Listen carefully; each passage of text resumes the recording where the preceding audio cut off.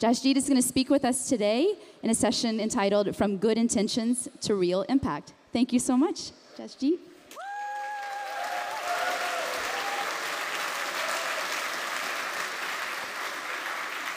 Thank you very much. Uh, it's a pleasure to be here. Good afternoon.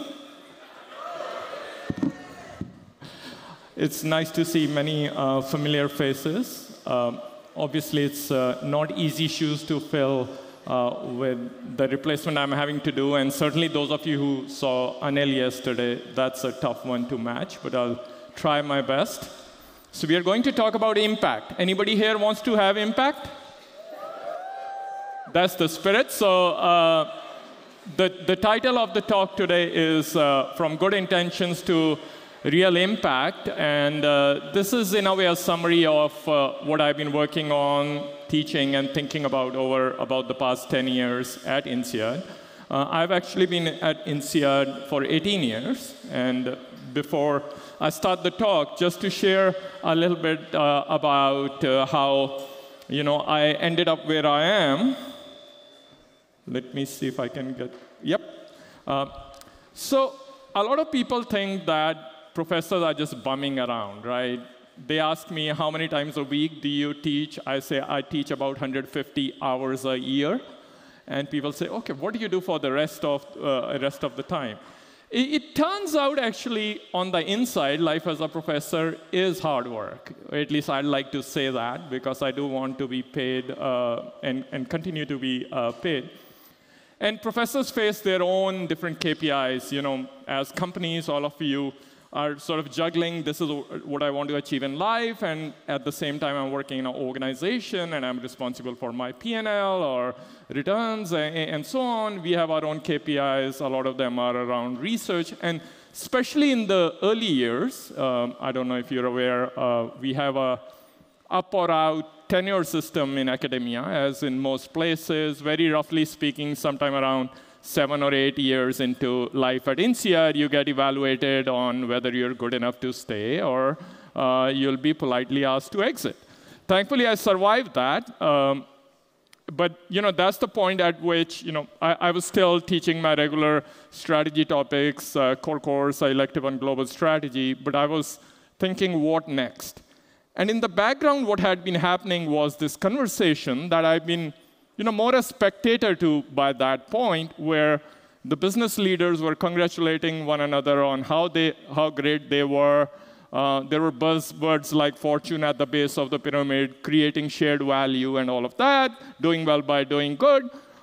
At the same time, on the outside, not everybody was convinced that business and indeed even business schools were a good thing uh, for the world. So, so there was that schizophrenia in my life that I was trying to deal with.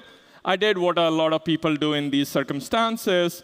Uh, you go to these uh, meditation retreats where you lock yourself up for 10 days. You wake up 4 a.m. every morning, reflect on life, uh, and try to concentrate for uh, meditation sessions. You sleep on flat beds, and instead of a pillow, they give you a wooden block you know, it helps some bit, but at the same time, whenever I got out of that, I was back to my normal conflicted self. And I was like, okay, I need to not think of this as something to escape from, but something that I need to confront. I said, okay, I'll try to learn on what's happening on the outside of the business world. And that's where I spent a lot of time uh, working in the development sector, but also, I mean, just understanding, just visiting people, and even within the business world, businesses that were genuinely trying to have impact. My focus in the early years was more social than environmental. Now it's increasingly uh, getting balanced. Um, traveling around, uh, visiting social enterprises, nonprofits, businesses working in that space, and trying to learn on what people were doing. And one of the interesting and exciting things to me was that there was a genuine conversation around thinking of business not just as a way of making money, but as a tool for impact, right? So the conversation in many quarters was starting with, we want to make a positive difference. A lot of times business is indeed the right way of approaching these issues, while recognizing that there are other settings in which we do need the other tools. And that's what I wanted to focus on. you know, there was a very clear recognition, though, that of course the free market view, where we are just taking prices as a signal of value, and there's market value creation, products and services that people care about, you know, jobs being created. That was immensely valuable as well.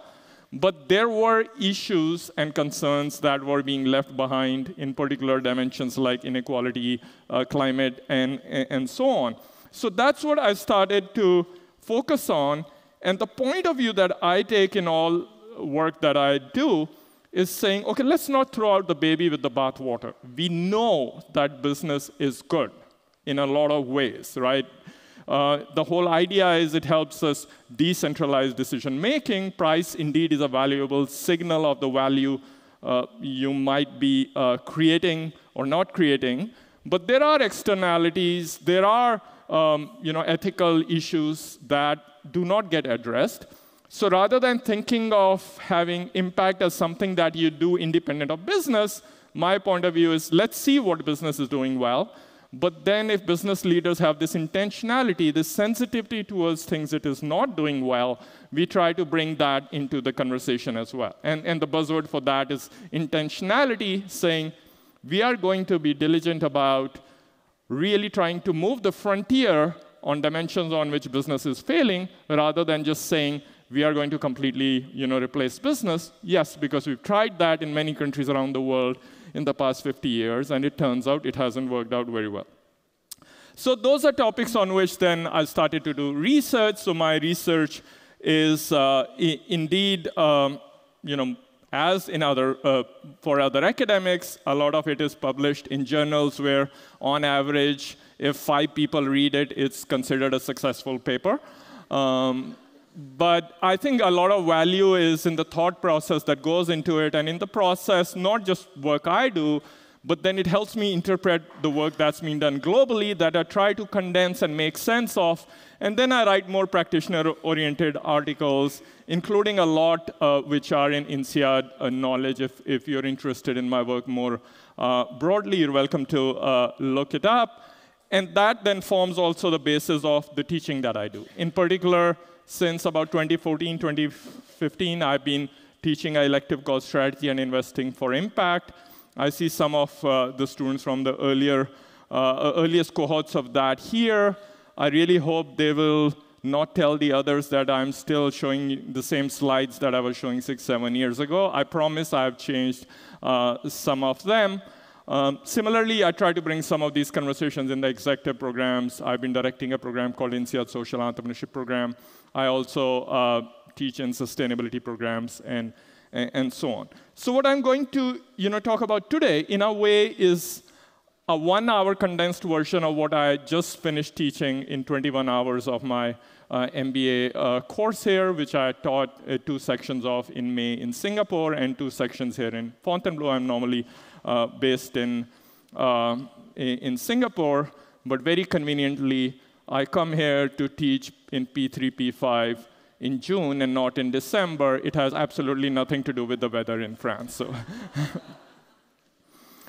so the starting point uh, for me is the observation that you know the journey that I've gone through as academic is a journey that I've seen lots of people go through, even uh, in business, including as alumni, saying, I've been fighting this battle for years, and at the end of it, you know, maybe I was successful to some extent, and then I'm starting to question myself on, you know, what uh, I, have been doing, uh, and, and, you know, can I do better, right? And what I like to do is say, okay, you know, we are INSEAD. This is the smartest people that you'll find uh, in the world. The, these are the best leaders you'll find in business, and take it for granted that, of course, you can meet the KPIs and the business goals that you have, but surely you're looking for something more than that in your life. Because if you won't stretch yourself, who will, right? And who's, if you're not the crowd that's going to think about societal issues uh, at the intersection of uh, business, uh, then who's going to do that? And so the whole point of my course is to take this notion of impact and I say, okay, let's take this conversation where from the outside, very often business leaders are being seen as, hey, you know, you're just greedy, you just care about money, you don't care about anything else. And we know that's not true. I've interacted with enough uh, people over the past 20 years uh, to say, okay, my hypothesis is that the roadblock very often is not uh, about people not caring, but it's about perhaps having deeper conversations about impact that just don't happen in the business world. And, and that's uh, the topic uh, on which I'll be elaborating on today. So when I talk about impact, for me, the definition of that is uh, pretty simple at some level. At the same time, perhaps it's a very high bar, but a useful one to keep in mind, saying if you're trying to define impact, you know, for yourself, for your project, for your organization, a useful starting point is simply to say, imagine the world with your project or unit, and imagine the world without you, and that delta really is the impact, right? We can write 100-page long impact reports, but ultimately, that's what the definition of impact comes down to.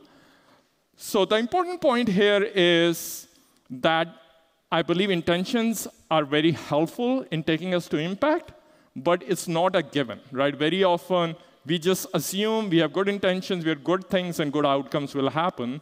And my argument is there's, you need to get as serious about managing impact if you really care about fixing the, uh, the gaps that the market leaves behind as, uh, as you are when you're managing uh, your business. And just to give an example of how there can be a big gulf between intentions and impact, here's an example that I very often teach uh, when I you know, take uh, a, first case study about making this distinction. This is a poster child case study from the development space of a social enterprise uh, called Play Pump. And what they said was, they started in South Africa around 18, 19 years ago uh, by a guy called Trevor Field, who had retired from the, his, his, job as a sales guy, and he says, I want to give back. He noticed access to clean drinking water was very often a, a challenge in poor communities in rural South Africa and beyond. Uh, so what he came up with was, in fact, he, he, he brought in, he didn't come up with the device, but he noticed this device which could be applied in this context, saying, can we come up with a merry-go-round uh, that will have a pumping action attached to it so that when children play on the merry-go-round, water pumps, and people get access to water.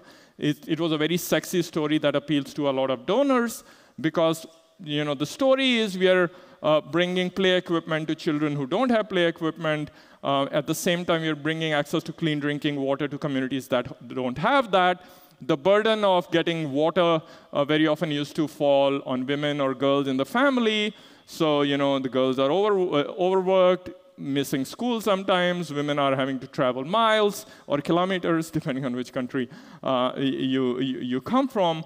And so this was a very happy, happy uh, story uh, that got a lot of excitement. So Trevor Field managed to get major funding, $5 million from the Case Foundation, another 11 million from USAID. Um, the projections were within three or four years, they'll go up to 60 million in funding, and uh, this will be rolled out to 4,000 villages. Amazing uh, story. All TV channels, social media, everything picks it up. At the same time, ultimately, it turned out to be one of the biggest uh, disasters in the development space. Because what went wrong, right? So what went wrong was it was a sexy story that was selling.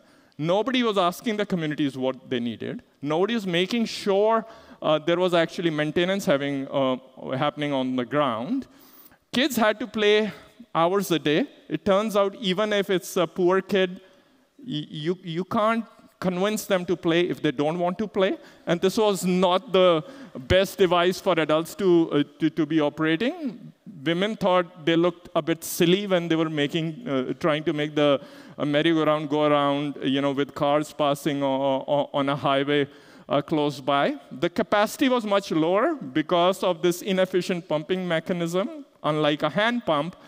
And the result was in communities in which the pumps were working, very often there was overcrowding and not enough water, right?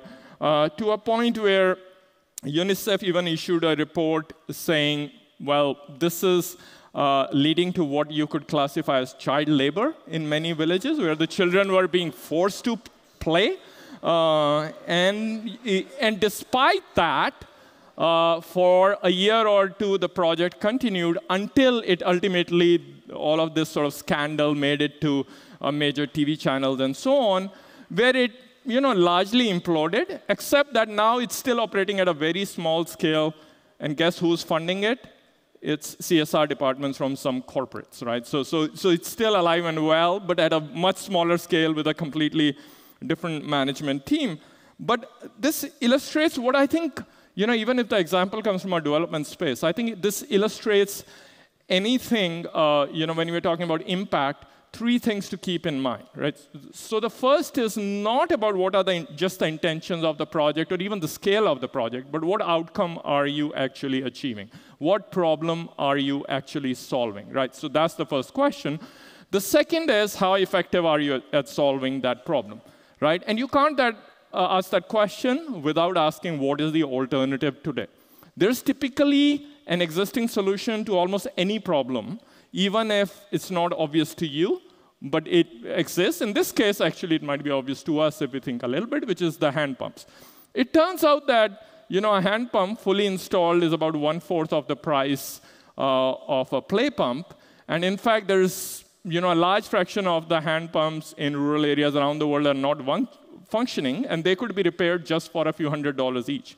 So if you think of you know, really cost-effective use of money in development, it would probably be ch to channel it towards repairing existing hand pumps rather than installing this sexy gadget for which local ecosystem doesn't exist to do the maintenance. People are not you know, uh, skilled. And by the way, the contractors are getting paid for every pump installed because that's the key metrics. How many pumps, pumps did you install? And you get paid, let's say, $1,000 for that. The end result is in some villages, it was going as far as a truck shows up, the contractors come out, they dig up a perfectly functioning hand pump, replace it with a play pump. The play pump stops working in three months, and the village stops getting access to water, right? So, so, so this is sort of the, the, the challenge with donors far away focusing on just one simple metric, looking at pretty pictures of smiling African kids, while nobody's actually thinking on behalf of the community, nobody's on the ground seeing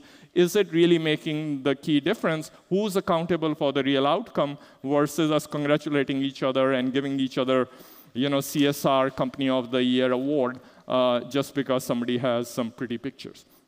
And so the broader point here is, you know, this kind of thinking about A, what is your impact in solving the problem, and not just that, going beyond that, asking what is your net impact?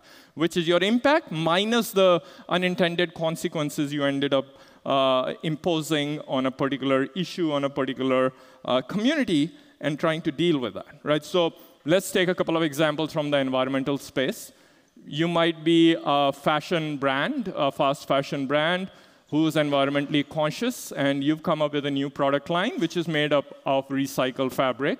And so you feel, eh, isn't it great? Am I not good for the world? You pat yourself on the back that your product is a very green product.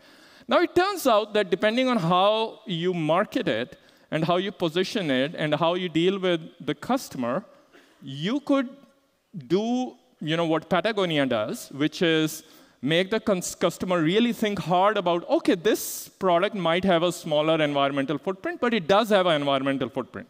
So you should buy it only if you need it, and if you buy it, then you should not buy something else instead. Versus ju just pushing this product as the next cool green product that you now add guilt-free to your wardrobe on top of the 20 Zara garments you already have, in which case you haven't really contributed positively to the world. You've still, in fact, very likely contributed negatively to the world if most of the customers are buying it as one extra product rather than a product replacing their existing product. And, and sort of that's, again, the, the, the kind of thinking to keep in mind. So if you just say, this year I sold 1 million of recycled material clothes, that's not a good metric of impact unless you tell me what would have happened otherwise. Can you tell me that these clothes really have replaced you know, clothes that had much higher footprint, in which case I believe you. But if you can't make that claim, you have to be a little bit careful in making grand uh, statements about your impact. Similarly, let's take another very common thing, uh, which is planting trees, right? Planting trees is a fantastic thing, and uh, lots of organizations around the world are doing it. But what we should be careful about is planting trees, again, you know, the number of trees you planted is not a metric of impact. It's just a metric of your scale. If the trees that you planted end up burning in a forest fire, or you know, when they are still young, getting eaten by the, uh, by the cattle, or even worse, if you know, the contractor that you told to plant trees first cleared some forest to plant trees, uh, in a which happens, by the way, in a location where these are not native trees, you're not going to achieve any meaningful outcomes, let's say, in terms of the environmental impact. And in fact, if you do all of this, and on top of that, now this is claimed as carbon credits, and all of us are flying here guilt-free because we bought some of those carbon credits. The end result of that is the emissions are real, uh, but the benefits of trees are halfway fictitious. So on the whole, you, you made the system not only neutral, but you made it worse. And so that's why there is this big debate right now, at a minimum about quality of offsets, uh, carbon offsets, and then more generally about carbon offsets should not be the starting point. It's the very last resort.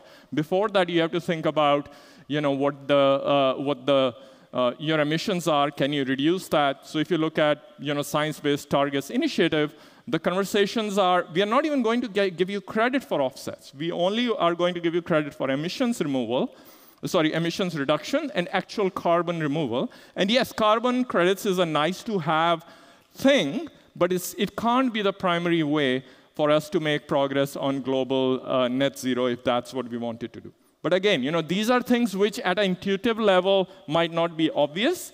And you need to dig deeper if you're serious about these things to really be sure that the impact that you think you're having or the story that's being told actually makes sense once it goes to the data and the evidence and, and the details.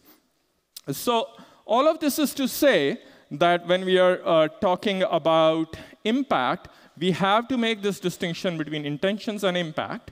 And in particular, what happens is it, it, it's actually rude. It's impolite in the impact space to criticize anybody, right? So if somebody comes to you uh, with a business model, for sure you'll rip it apart. You'll ask them 20,000 questions about it. If somebody comes up with you uh, with an impact idea, you say, isn't that lovely? You're trying to contribute to the world. What a nice guy. And if you ask them, how does this really have impact? You're like, at least he's doing something or she's doing something. What are you doing, right? So, so, so and we have to be a little bit careful. Um, on the one hand, of course, we absolutely should be encouraging and admiring people that are trying to make positive difference. But, you know, at the community level, we should keep an eye on what is being achieved and not just on, you know, people sort of doing good things and feeling happy about it and just congratulating one another uh, without necessarily achieving the outcomes, and in some cases, uh, potentially making things much worse rather than better.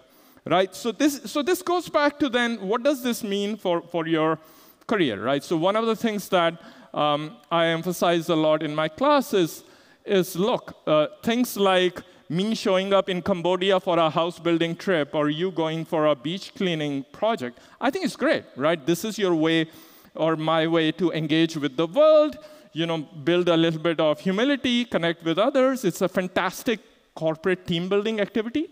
But let's recognize exactly for what it is, right? This is not the biggest way in which people like INSEAD MBAs are going to contribute to the world. There, there is sort of much bigger things you could be doing within the scope of your work, wherever that work is.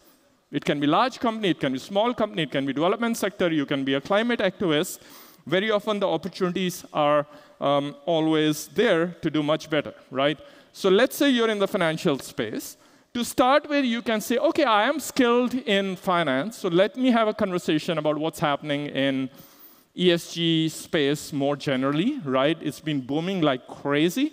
Um, eh, or you know, impact space more narrowly, which is a much narrower space because it goes much further in um, both having strategy for and commitment and measurement for impact being delivered. But both of these spaces are right now at a very genuine risk of falling into what people would call greenwashing. Because on the one hand, there are people that are really serious about it, really focusing on the impact, measuring it, trying to improve it. On the other hand, there's a lot of people in there who either intentionally or purely for lack of skill are in there telling an impact story on impact that doesn't exist, right? For example, there was this article in, in Business Week in December, which points out this you know, slightly inconvenient fact that most of the ESG investing is a strategy about how does, let's say, climate impact our business. It is not mostly about how do we impact climate. Now, the two are correlated, right? But saying that just because I'm making sure that I don't get screwed up by the environmental impact that I'm causing is not going to be enough for us to achieve what needs to be achieved, for us to actually genuinely uh, work on the environmental crisis in a way that our children and our grandchildren get to live in a world that's sort of as livable uh, as what we live in, right? So, so the conversation then is if we are thinking about impact, we should try hard to think about where is it that our leverage points are the most, right? And, and yes, I absolutely believe that follow your passion is a useful starting point of the conversation, but it's not enough. Uh, and yes, you have to start with uh, what are your passions and you know what are your goals, financial or non-financial. But you also have to ask, what is the real societal need? How big is it? How critical is it? And then the third question, what do I bring on the table? You know, what is my competitive advantage if I'm trying to uh, trying to contribute to this particular space? So the challenge if you're doing through this through business, of course, is that you have to balance both the business side, which is already hard enough as we know, but the impact side, and what I'm essentially saying here is the impact is not automatic, even if your intentions are good, and just scale is not a good measure of impact. So what does this mean? This means, okay, so we have to make sure that we are uh, really getting our business model right, right? And the starting point is to recognize that the reality is, despite all the hype about the customer cares and Gen Z and millennials and all of that, the reality today still is for most customers, yes, they will care about impact as long as A, it doesn't require them to pay a lot more, B, they don't see it as a compromise on basic functional attributes of your product and service. If that's not there, you will always remain a niche player, even if you do manage to survive. Just as an example, um, a social enterprise in the UK called Aspire. It, was started by you know, two very well-meaning uh, graduates uh, just out of college who saw the homelessness issue and they said, okay, we are going to employ homeless people in our business. And this is you know, pre mm, uh, internet uh, era, or, or, certainly before uh, internet main, uh, went mainstream, saying, okay, we are going to train homeless people, employ them, and we are going to build a business that's as competitive as uh, any other catalog business. It turns out it, it was a little impractical uh, because there's a very good reason uh, why the homeless people were homeless, and a lot of them were struggling with um, issues like, you know, they were recently out of jail, many of them had drug problems, many of them had alcohol problems. So if you're employing them, and uh, you're expecting your business day one to have uh, be as competitive as one of your competitors who's not, and then you're expecting your customers to really value that and uh, to a point that you can scale up as a successful business. It didn't happen. In the beginning, of course, they got a lot of press, you know, the prime minister shopping at their uh, store, and yes, indeed, communities trying to support the homeless people uh, in their region, but this is not something that they were consistently able to maintain. Uh, not surprisingly, this, the, the business side of this folded, and then they ended up going back to the uh, nonprofit model. The, the other thing is, which is even trickier, is what I call the impact model, right? So if you're really serious about impact, you have to define what problem you're solving. You have to have a credible strategy that we believe can get you there, and you have to measure to, to, to see are you actually able to achieve it. And so one of the stories here, uh, very often that gets discussed in this space, is Tom's, right? Originally called Tom Shoes, but then they dropped the shoes because uh, uh, Tom's uh, started to go into other areas. But cumulatively, Tom's has, through its buy one, give one model, which by the way has inspired hundreds of companies to pick it up after Tom's did, given shoes to 90 million kids globally, right? 90 million. Think about the scale, right? At the same time, it has been criticized severely by the development people uh, through you know, hard data, something that Tom's also acknowledged that the impact was simply not there in a way that they were telling the story, right? Because what they were doing very often was giving shoes that might be inappropriate for the kids. Shoes very often were not in the top 20 or 30 uh, needs of the kids, and there were concerns like it was creating a culture of dependence, you know, something that has been discussed in the aid uh, space more, more broadly, that the right way to development is enable local entrepreneurship rather than make communities dependent on handouts uh, from overseas permanently. And then even things like this was causing the local shoemakers to go out of business and all of that, right? So Tom subsequently ended up having to deal with this and diversify to try to increase impact. And then, you know, more recently, they, they ran into other trouble because uh, I think both their business model and impact model became a little bit sort of too inconsistent. And uh, uh, the original founder ended up leaving the company two years ago. But think about it 90 million shoes, it looks like a great headline number. But when the founder himself acknowledges that that was not, you know, in hindsight, achieving the impact, this shows how you know the consumer is buying into the easy, simple story, but the impact is much more nuanced. And if you really care, you have to care as a business yourself. Very often, you'll be ahead of the customer. So just relying on the customer to be able to make a full assessment on whether the impact is there or not there is a little bit tricky. The other point here is, you know, not to beat up on examples like PlayPump or, or Tom's, because you know, one of the feedback that I get from a lot of my MBA students at the end of the term was that was a very thoughtful course, but it leaves me depressed, and what now? So it's like, mm, uh, uh, and you know, I've been, I've been sort of doing this fine tuning of I give some of these examples, but then every now and then I insert a happy story in there to. Uh, but I think I need to work with my uh, OB colleagues to, to, to improve that side of the course to, to actually um, get the mood up, but it's an important point, which is impact space is complicated.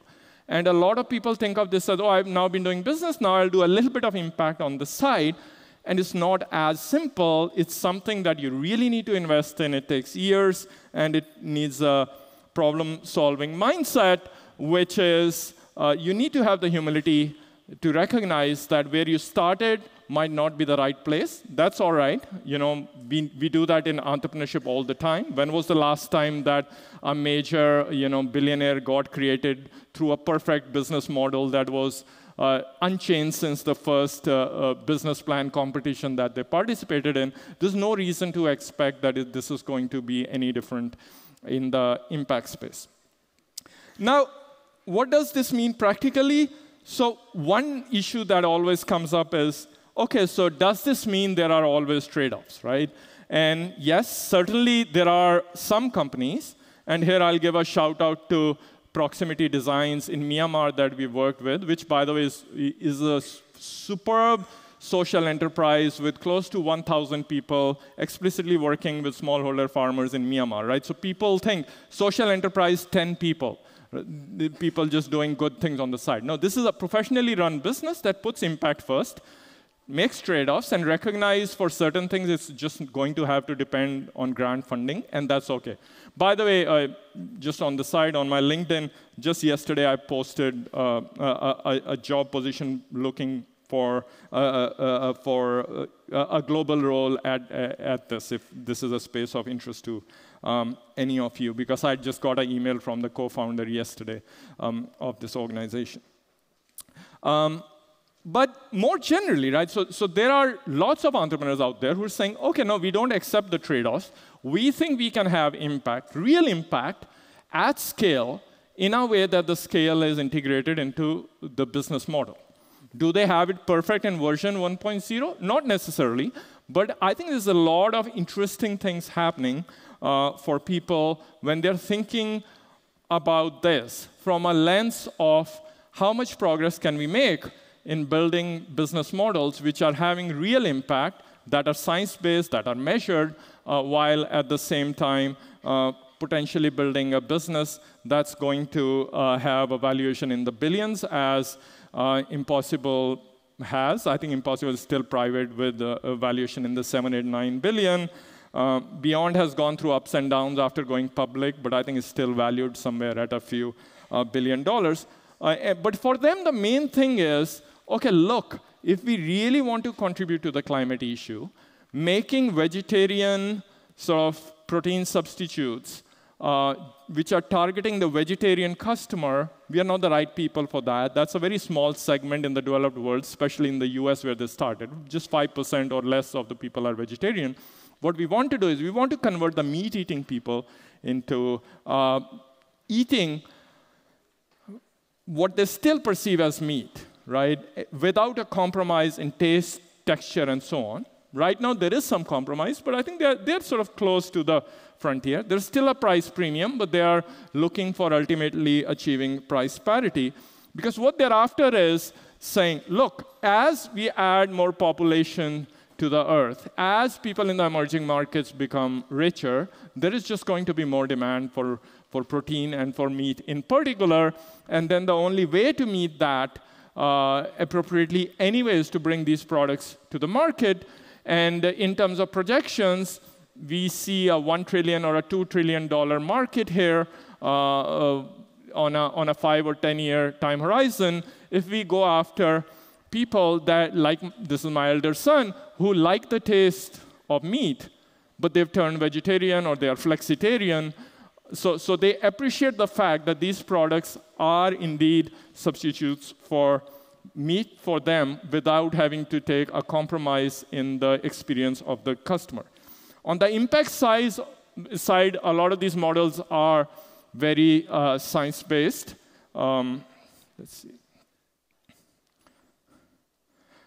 So in particular, both Impossible and Beyond work with external parties, work with scientists, literally go back and, and, say, okay, our burger on a life cycle basis, how does it compare uh, with an animal-based burger in terms of the water that, that is used, in terms of the land that's used uh, in raising the um, animals, in terms of uh, the global warming potential from deforestation and from the methane that, uh, that comes from the burps and the farts of the animals and, and so on and, and so forth. Right? So, so the point is people that are seriously serious about impact, think through the impact side, measure it, and increasingly quantify it. And, and so the conversation about impact is not just a sloppy feel-good conversation in a lot of ventures um, anymore. So if I have to look at impact evaluation more broadly, right? So, so this is a conversation that's happening, going back to we were talking about planting trees and nature-based solutions. A lot of the progress that's being made is by rigorous testing of what models work. And from the point of view of the purists, the most rigorous way of testing is uh, what are called randomized controlled trials or randomized evaluations, where you just say, OK, here's a model of involving a community in aligning incentives uh, typically in tropical low-income countries, for preserving their forests, where you know, there's some way of compensating um, people for not cutting down forests. And we'll do it by taking, in this case, it's uh, villages in Ghana, and we are going to take, I'm forgetting the exact number, let's say 60 villages in which we ran, uh, 60 randomly selected villages in which we roll out the program, 60 in which we don't, and, and then we measure through pictures taken um, by satellite on how much more is the tree cover, and there's a 5% difference between the, that. You can do a calculation of cost-benefit analysis because you can translate that into how much more carbon is being sequestered and at a certain price of carbon in the US or UK or you know, whatever you consider uh, appropriate. What does that mean in terms of uh, uh, what is being achieved in this project? Another example is One Acre Fund, another organization that works with low-income farmers. They are very careful about claims of impact that they make, which is backed by evidence that they say, okay, look, we know that microfinance in general has been a hyped up sector, right? And microfinance even today makes up one fourth or so of the total impact investing portfolios. And the reality is microfinance, in particular microfinance lending, simply hasn't had the kind of impact that most microfinance organizations claim. There's no a lot of research that backs it. And One Acre Fund says, but hang on, we have a different microfinance model because our customer is only the farmer. Our loans are optimized to the needs of the farmer at reasonable interest rates. And the loans are specifically for funding the inputs that the farmer needs, the fertilizers and the seed and so on. And we are also going to not just uh, you know, stop there, we are going to connect the farmer to the market, and we are going to train the farmer on the basic uh, practices that we know increase productivity of farmers, right? So again, the focus is, here's a problem, the, a particular customer segment, in this case the farmers, the low-income farmers in East Africa who don't have high productivity, what would it take for them to increase productivity? And it's based on data where they are able to show that you know, a farmer in the one acre fund program relative to a farmer not in the program has significantly higher uh, income, and that income actually translates significantly to better health outcomes, better education outcomes. So it's not just cheap talk that, look, we are giving loans to farmers in the villages, so we are having impact. This is actually a clear strategy on how is the impact happening and what is the evidence perhaps ideally for some of these cases verified through third parties, right? So just like we, would, we wouldn't expect income statements from uh, a, company to be credible if they wrote it up and there's no auditing, the conversation in the impact space also is also measurement, but then the measurement that's uh, at some point uh, independently uh, verified. Now, does this mean everybody needs to be doing massive evaluations and experiments? Not necessarily, right? And so some of you might be available, might be aware of the RISE fund, which was, a, when it came out, started, the largest impact investing fund, uh, which was started by TPG RISE um, a, a few years ago. And their whole argument was, look, we just the fact that we care about impact doesn't mean we have to go run the evaluations, but there's enough body of evidence that's building from research cumulatively being done globally in any space. And now when we do an investment, we are still going to expect the same IRR that we expect on a risk-adjusted basis in any given setting, but we are also going to look for evidence that exists on the impact side that's published in a credible journal through a credible research methodology, right? So, so that's where some of these conversations are on the frontier. Spe specifically in the case of the RISE fund, what they do is they go further and they say, we are actually going to put a dollar value.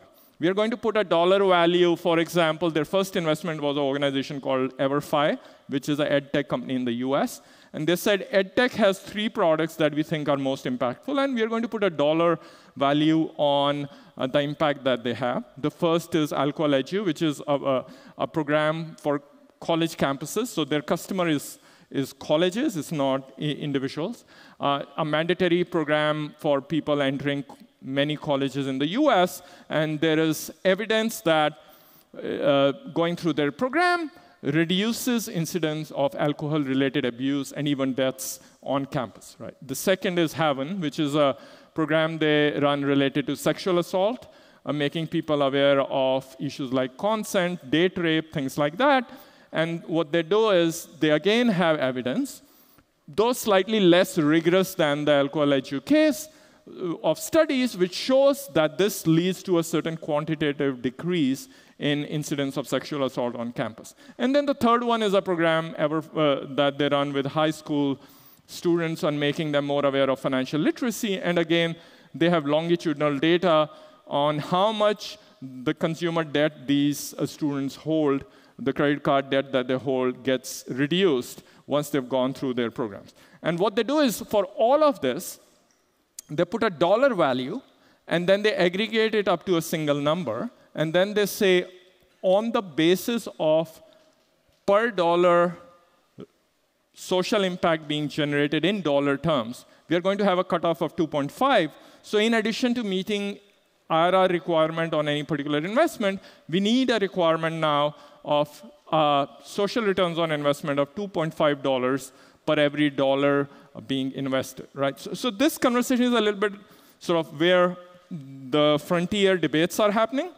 Because what they have in mind is something, you know, if you think more broadly of the broader conversations that are happening, is viewing a company as having a bundle of impacts, translating on them all to dollar value, and aggregating it up and saying, this is what a company is worth on a financial basis, this is what it would be worth if we also adjusted for impact. So, so these are, you know, very ambitious sort of projects, but I would say also very early stage projects where the conversation still needs to get a lot more sophisticated because I'm personally not so convinced that we are at a point where we can add up. First of all, we can credibly believe every single dollar number in terms of this is our you know, dollar value of the environmental impact, this is our uh, impact for the poorest workers, and this is our impact for uh, workers who are a little less poor, because it raises a lot of questions both on what are the assumptions. For example, is 100 euros a ton an appropriate price for carbon? Is it 10 euros a ton? Is it 300 euros a ton? What discount rate should you be doing? You know, should the discount rate in the environmental space really be the same as business? Because effectively what that means is, if you start putting a 5% discount rate in our environmental impact, you're basically saying our grandchildren really don't matter once in these spreadsheets, right? And these are I think ethical issues, which are very important issues, which the, the, the, the, business community and the finance company hasn't yet gotten to, right? And, the, and this conversation is actually a conversation that is not a new conversation. It's just the conversation that has been happening in the uh, moral philosophy space and political philosophy space for more than 100 years. It's just new to the business world. And we are rediscovering it. And what worries me a little bit is we are reinventing it without really understanding fully the work that has happened in this space for a century. So, for example, here's a study from 1937 where a psychologist was trying to do exactly that put a dollar value on every single impact. And uh, what the psychologist said was, okay, I'm going to go and I'm going to do a survey of people. Uh, this was in the US on how much would they have. So, so the idea was, you know, every pain and pleasure that the end person has has a dollar value to it, and I'm going to show that you can put a dollar value to everything. In this particular case, the question being posed to people was, how much would you need to be paid to have an upper front tooth pulled out? And remember, this is from the days before anesthesia, so it's a little bit more painful than it is now. Uh, have a little toe of uh, one foot cut, eat a live six inch earthworm, choke a stray cat to death with bare hands, and live the rest of life on a farm in Kansas. Now, I don't know what's with Kansas. It was there in Anil's presentation yesterday, and it is in my presentation today purely by uh, coincidence. But what do you think? Which of these you would have to be paid the highest for if, if you know, people were asked in 1937? How many think have an upper front tooth pulled out? Anybody think that? E, have a little toe of one foot cut off, okay. Eat a live six inch earthworm. That's easy peasy, right, for most of you? Uh, choke a stray cat to death with bare hands. Many cat lovers in this audience, clearly. Um, live the rest of life uh, uh, on a farm in Kansas. I can see why for, for INSEAD people that might be particularly hard. I think it's hard enough for anybody. Um, it turns out in this particular case, it was indeed the life in, in Kansas. Uh, but the second, and I don't know if this is about the time or the place or uh, people's taste at that point, it looks like eating a live six inch earthworm was much yuckier in those days than it is now. But I think the point of this exercise is as much to illustrate, you know, we would say how, how high is the variance across people. So essentially, when we are trying to measure impact, we are trying to say we as society recognize and we are going to put the same value on a particular outcome for each of the 7 billion people on Earth. And, and sort of that's how ambitious the project is. And you can see why, on ethical grounds, it's, it's hard. And it's also hard on very practical grounds, right? Because the assumption here is we have perfect data on all possible impacts on every single project that we ever do. And if you're really doing that, then the complete point of having a market economy is lost because this is exactly what central planning was supposed to be do doing. And in fact, the only thing you've done is you've replaced central planner with a finance dude who has a spreadsheet deciding the fate of the rest of humanity. Now, I used to think this is simply not doable. Uh, now I think actually the problem is, even if it's not perfectly doable, people are saying, you know, we can make progress on this uh, without fully recognizing that there are moral implications of these decisions. And what's going to happen, and this is what concerns me, is that the subjective values of people in power and people with money get imposed on less rest of the society. And, and, so this is something to be a little bit sensitive and cautious about, in my view. But you know, this is just my view, and this is a space in which this is a hotly debated space uh, with, a, with a lot of debate that's happening. So, you know, just for the last five minutes, let me uh, wrap up, and I think we have about 15 minutes for questions then.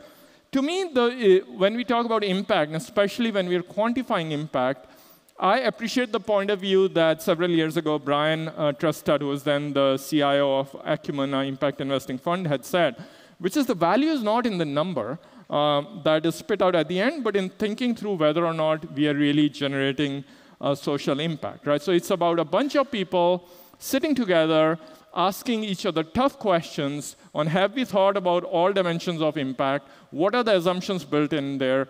If we change the assumptions, what happens? And if in different scenarios the impact looks very different, then what do we think about it? And how do we make progress on doing better? So the, the other thing I, I think as a business community, we have to be very sensitive about when we're talking about impact is are we just doing Band-Aid, which happens all the time, which is uh, there are certainly these two books which are pretty harsh on business. So if you have a little bit of a thin, thick skin, I would still encourage you to uh, read these two books. This more on the social impact side, and this more on the climate impact side on how business, by a lot of initiatives that look positive at the surface, end up postponing or pushing back societal level, systems level change, uh, which, you know, in the bigger scheme could be uh, a step, you know, one step forward, two step back. You know, perhaps some of this criticism is unfair, but it's sort of worth looking it up because in my mind, the best way to improve is to listen to the critics rather than just congratulate each other. And then, yes, it's up to us to use our judgment on saying which of these uh, you know, criticisms are valid and we'll do something about, and which of these are unfair and I'm just going to um, ignore.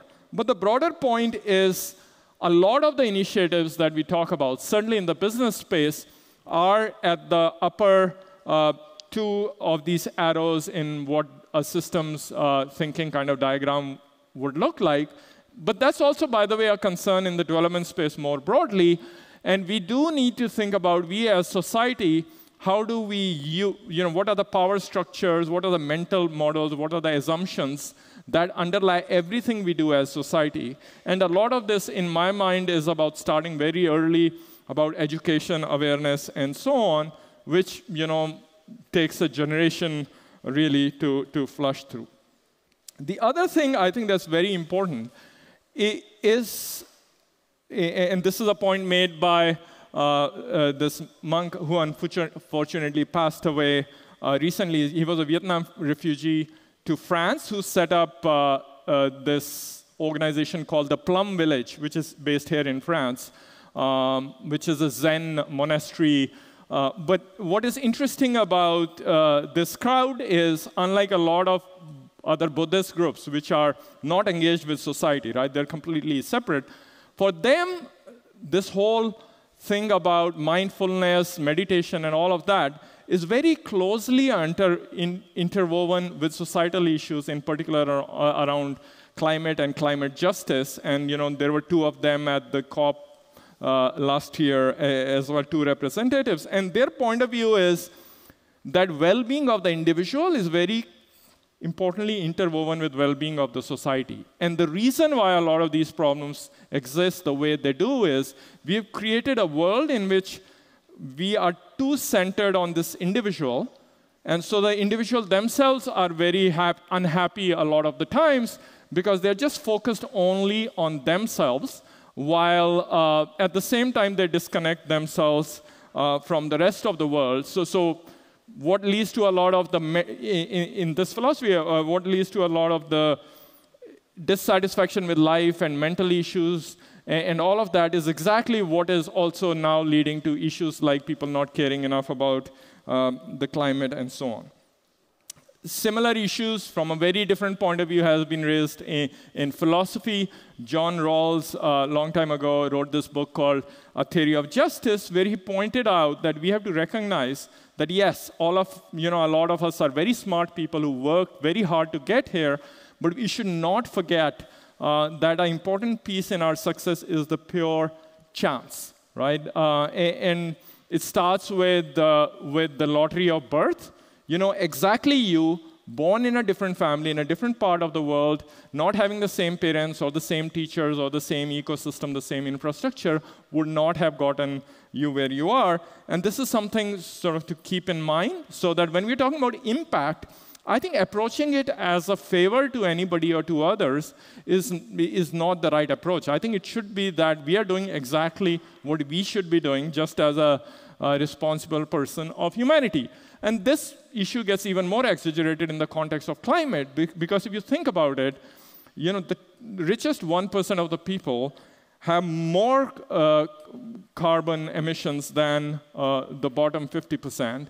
And by the way, who's going to suffer is the bottom 50% because the richest one would, you know, if Miami goes underwater, they'll find a way to buy a house somewhere else. Uh, the, the, the real issue will be faced by uh, the poorest of the world.